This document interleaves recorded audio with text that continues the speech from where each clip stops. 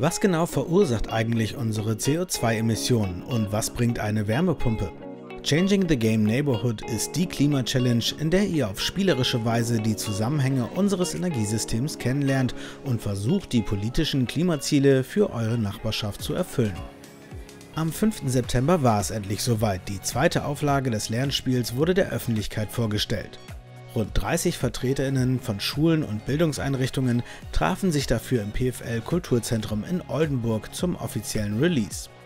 Nach mehreren begeisterten Spielrunden an sechs Tischen wurden die ersten 100 Exemplare an die Bildungseinrichtungen übergeben. Neben dem siebenköpfigen Kernteam waren rund 120 Personen daran beteiligt, die neue Version des Spiels zu verbessern und möglichst nachhaltig zu produzieren.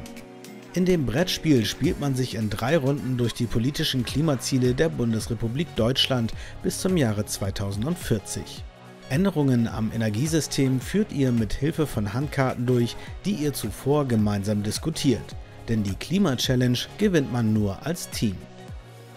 Spielen lässt sich Changing the Game Neighborhood möglicherweise schon in einer der Schulen in und um Oldenburg.